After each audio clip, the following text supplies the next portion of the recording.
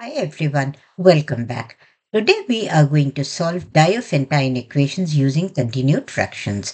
In the previous video, you have already seen how a given rational number can be reduced to a simple finite continued fraction using Euclidean algorithm. Let's now look at a few things which we will be needing for solving the Diophantine equations. First, the kth convergents. Now what are these?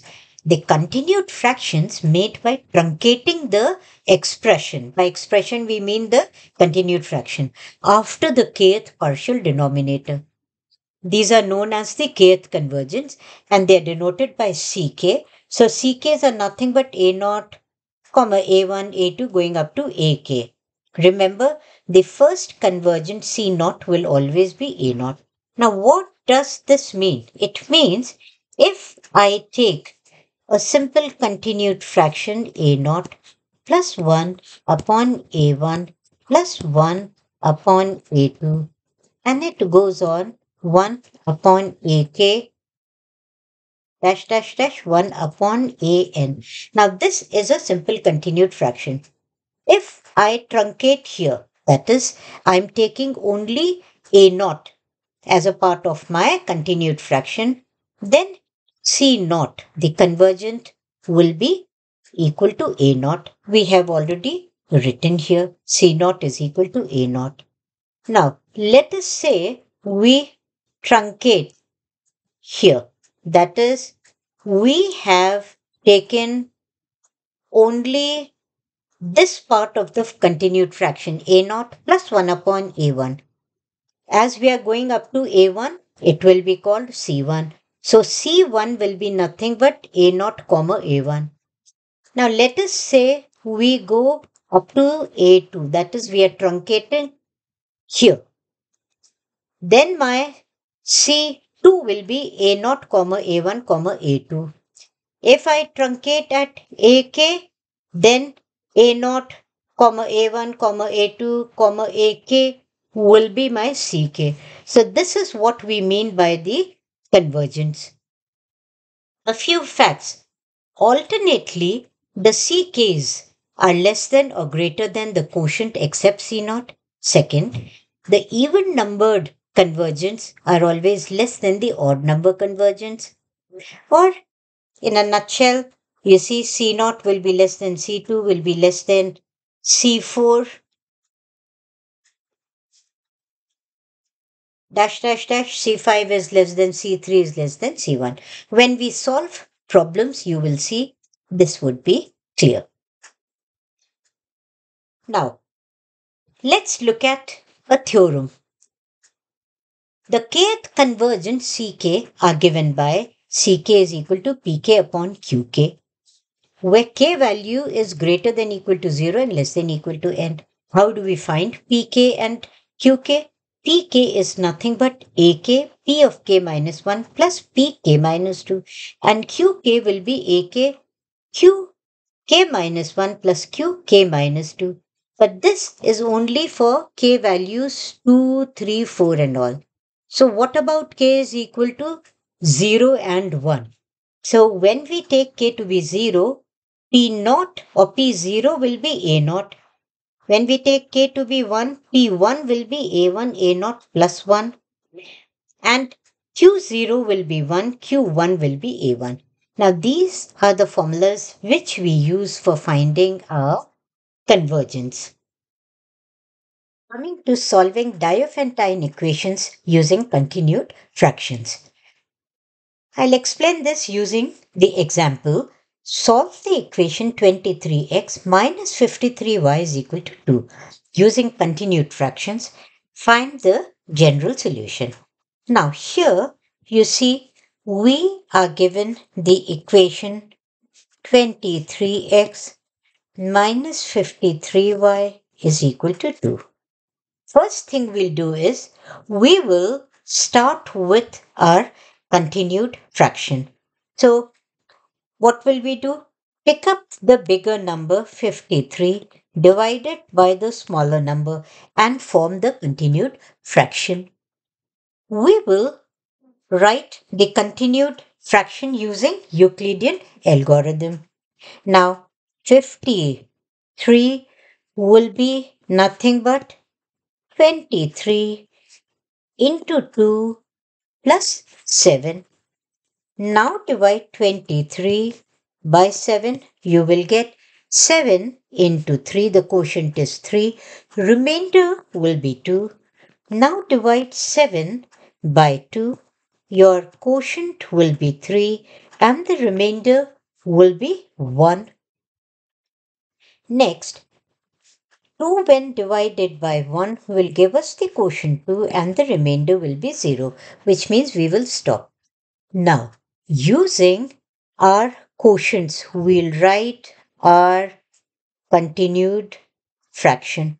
So, what is my continued fraction of 53 by 23?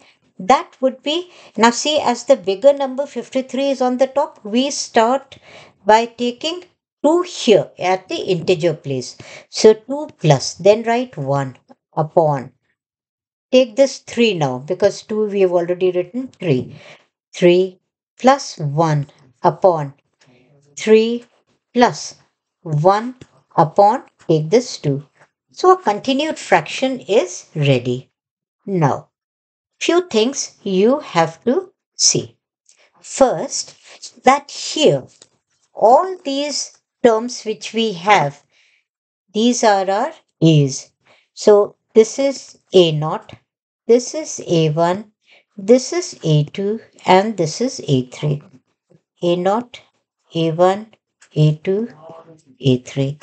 So we have A naught is 2, A1 is 3, A2 is 3, uh, A3 is 2. Well, how far have we gone? We've gone up to A3. So my K value is 3. This is something which we will be using. So you have to remember.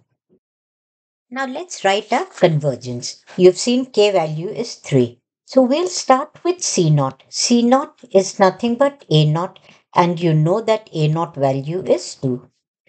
Then come to P naught. You know that P naught or P0 is nothing but A naught. So that is also 2. How about P1? For P1, we use the formula A1, A naught plus 1 and A1 value we have just seen is 3. So we have 3. A naught is 2 plus 1. P1 comes out to be 7. How about Q naught? Q naught, you know by default, will be 1. And Q1 will be nothing but A1. And A1 we have just seen is 3. So, if you see at this stage, we have, let me write them here, C naught, which will be nothing but P naught upon Q naught, is nothing but 2. C1 which is P1 upon Q1 is what was P1? 7 and Q1 is 3. So we get C1 as 7 by 3. Now, for the other convergents, we will use the formula. You know that P2 will be nothing but A2 P 1 plus P naught. And this will be equal to A2. You know that A2 value is, let's go back and check. A2 is 3. So we have 3. P1 you just found to be 7. P naught you just found to be 2. So this value P2 comes out to be 23. Now let's see what is a Q2. Q2 will be nothing but A2 Q1 plus Q0. What is A2? We just saw A2 was 3. Q1 was also 3 and Q0 was 1. So this value comes out to be 10. So what is C2 then? Just let me separate this here. C2 will be nothing but P2 upon Q2 and that will be 23 by 10. Now, our C3 will be nothing but the original ratio or the quotient. But still, let's check using the formula. So for that, I need P3. P3 will be A3, P2 plus P1 and this will be nothing but what was our A3? A3 is 2. So we have 2 into P2 you've just found is 23 into 23 and P1 you saw was 7. So plus 7. How much does it give us? 53. Now come to Q3. Q3 will be A3 Q2 plus Q1 and A3 we've already seen is 2. Q2 you've just found is 10 multiplied by 10. Q1 we have seen is 3. So we add 3 here. This gives me 23. So what does our C3 come out? C3 which is P3 upon Q3 is your 53 by 23 and this is nothing but the original quotient we had started with. Now once you get this, remember guys the formula which we have already seen in the theorem has been used here. I'm writing them once again. Your P K is found using AK P of K minus 1 plus P of K minus 2. And QK, all you have to do is in place of P write Q. So AK, Q of K minus 1 plus Q of K minus 2. So we have got these. Now the second theorem which we had used, if you go back to that, it said, the theorem said your pk using the theorem.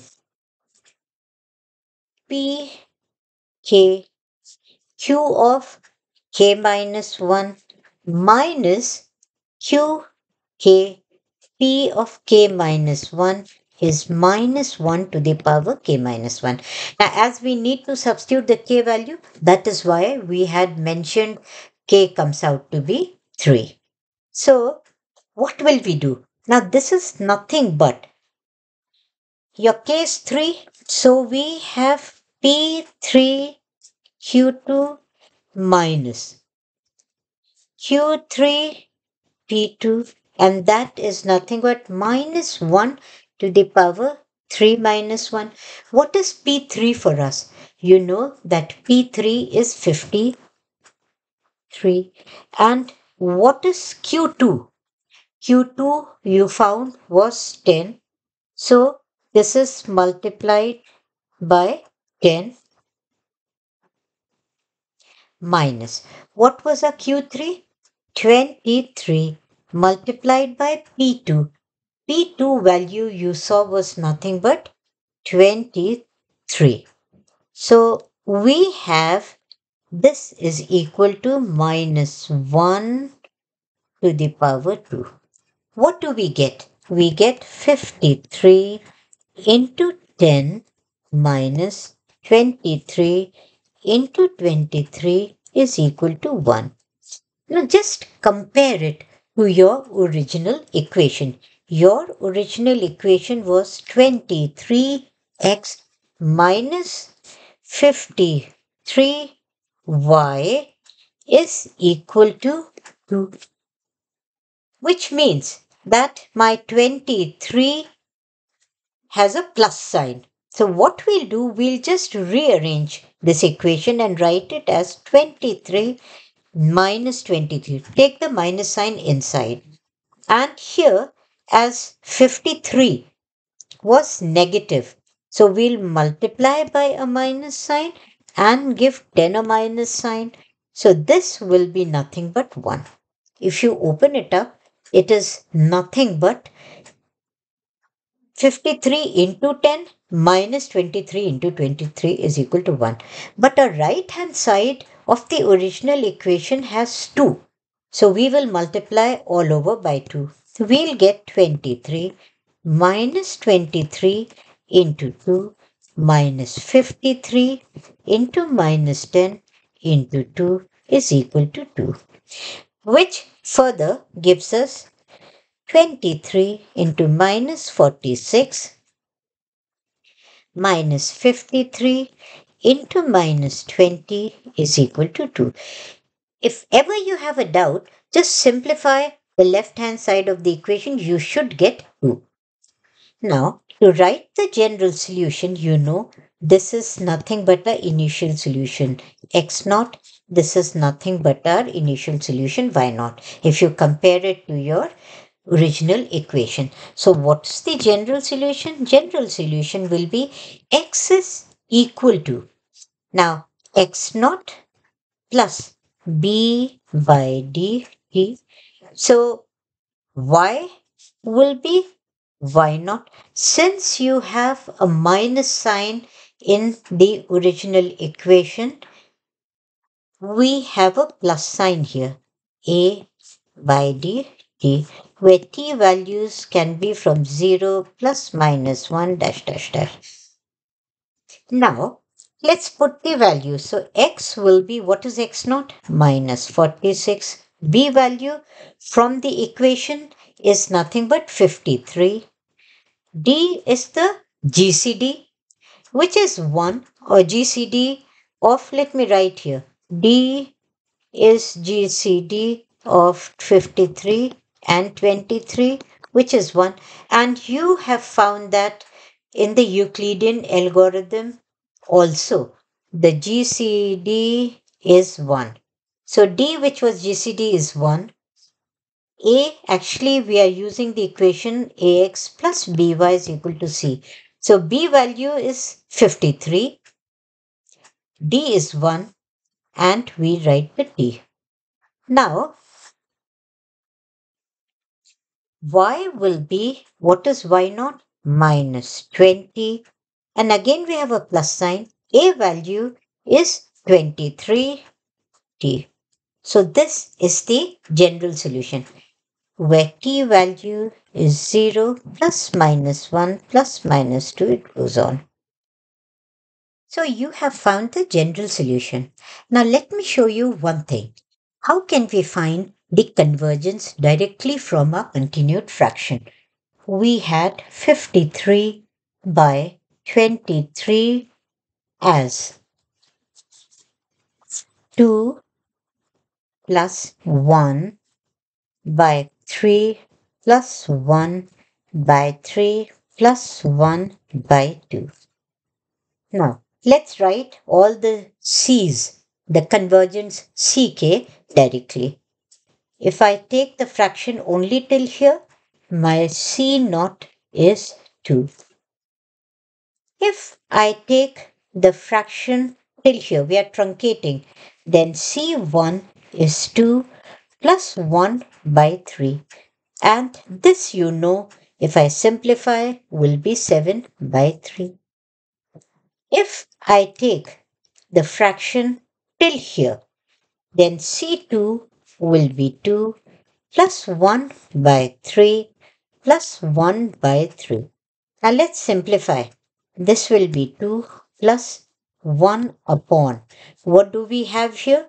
3 into 3 is 9 plus 1, 10 by 3, which is nothing but 2 plus 3 by 10. Simplify that further, you get 23 by 10. And if you take the full fraction, obviously it will be the original fraction 53 by 23. So you see, we have all are convergents directly also from the continued fraction. These are the values which you got here. See, you got C0 as 2, C1 as 7 by 3, and C2 as 23 by 10. C3, of course, as I said, that's the original fraction, which will add up to 53 by 23. So if you are careful, you can directly find the convergents without using the formula. Thanks a lot for watching. The next video will be on prime numbers. You can check my website profpritibajpai.com for notes, my class lectures with lot of solved examples on number theory.